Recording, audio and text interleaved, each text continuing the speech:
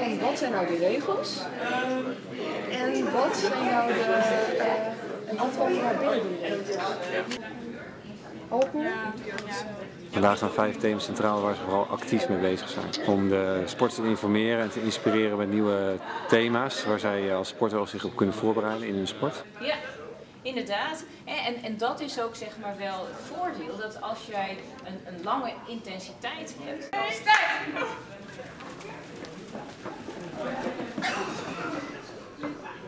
Een mooi vervolg op ons vorige uh, evenement uh, in oktober, het vooral ging over informeren. Zijn nu meer uh, de sport activeren. Informatie over de juiste voedingskeuze maken, gekoppeld aan het drinkgedrag, doelen stellen bij prestatiegedrag. omgaan met een juiste ademhaling, bij gezond presteren, fysieke meting en informatie over antidoping. Lang uit en wacht heel even voordat je weer inademt gaan we zo, gaan we nu doen.